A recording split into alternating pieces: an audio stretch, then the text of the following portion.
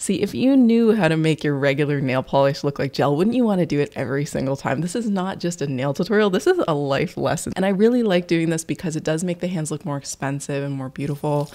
And let's just get into the video. We're starting with washing our hands because this is an underrated step in beauty. I think keeping your nails really, really clean and your hands clean is like a basic foundation of a nice manicure. This is also going to remove dirt and oil from both under and on top of the nail plate, which is crucial for making your manicure last. You know what phrase I just learned? A hundo instead of 100. I love that. Once your nails are clean on a hundo, we're gonna clean. We're gonna completely dry the nail plate. This is super important, obviously, because you don't want any moisture under there. And then, kind of weird, but I'm moisturizing my hands before we get started. I like to do this because I want my hands to be hydrated, but I can't be bothered to do it after I've waited for my polish to dry. So let's just do it before and then like any manicure should begin, you're always going to dehydrate the nail. So just by doing this, it's going to remove any of the hand cream that we just got on the nail plate, which is not only going to make the manicure look better, but also make it last a super long time. Now it's time to start working with some polishes. I'm gonna take a base coat. Now, normally you would just wipe this off the side and then just apply a thin layer to your nail, but no. Today, we're gonna dip this in, let it drip once, and then start twirling the polish bottle. I'm just working against gravity here, trying to keep a lot of clear polish on this brush. Now I'm gonna bring the brush over top of the nail I intend to paint, stop twirling, press it to the upper area of the nail and then push it all the way up towards the cuticle without touching it. Let it travel there on its own and then drag it down. And since you've got so much product on this brush, you're going to see a really glossy look.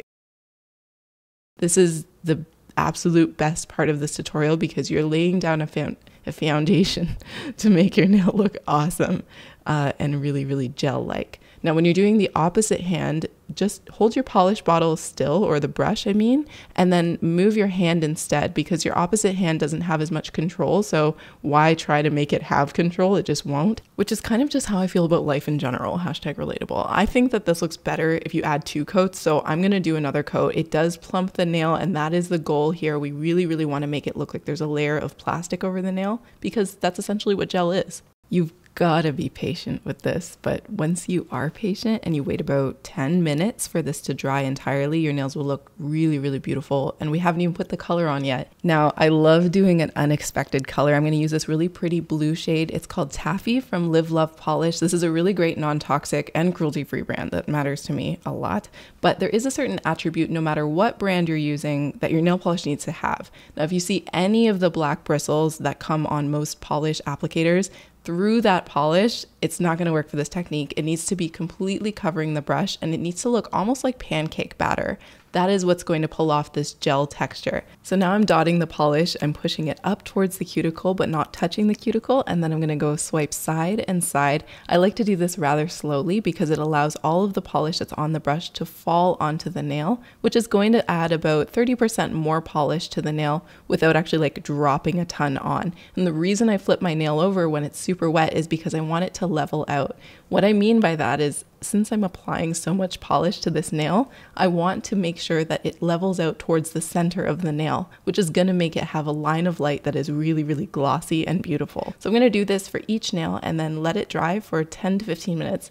And it already looks so beautiful. There's no top coat, but they look so glossy. Like this looks like they just sat in a UV light girl code tells me that like it's not even like okay or right to ever have one coat of polish even though you don't really need to with this polish I'm going to do two because it's just, it's the rules. While you're watching this, tell me what color you intuitively just want to try with this technique because I think for me, I like doing lighter colors, but I would love to see your recreations. Okay, now the next step is to clean it up. This is kind of a pain and this is a little bit of an extra detail that not I don't think everybody needs to do. But if you really want to give it this professional, beautiful look, take a tiny little brush like this. This one's really great for cleaning up with a little bit of nail polish and just kind of like dance this along the edges of the cuticle, any areas that you messed up, and really clean it up so that it looks like a perfect oval on your nail. Now we can do the finishing touch, which is to add a glossy taco. Yes, I too am a holosexual. I am going to add a cuticle oil to the very end of this process. This is a really nice one because it rolls on. I'm just going to buff this into the cuticles and this is going to make your nails perfect for taking nail photos. I love the way that these look in every lighting. Even when it's dark in the room, I see how glossy my nails are and I just am so happy that I took the time to do these because they look amazing. I hope you guys try these out. Let me know what you thought of this video. Thumbs up if you enjoyed it, thumbs down if you didn't, and you guys know I'll see you in my next one. Bye bye.